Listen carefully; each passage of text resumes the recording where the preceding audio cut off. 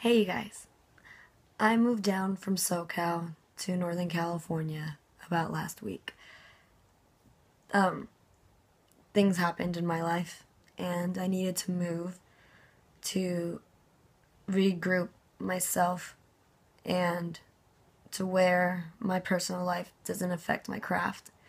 So I will be back in SoCal the right way, not the way I was living before. And with that being said, that means, you know, we have our personal lives that can affect our craft.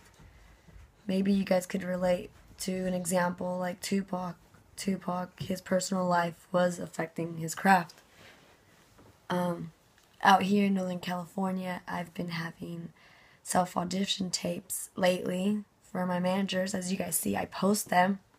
I post up my mess ups, everything, and um, it's it's cool. I like it because if you mess up, I could just erase it and redo it, and it's like hell yeah, you know. But if I go to an actual audition tape, it's like oh fuck, you can't mess up.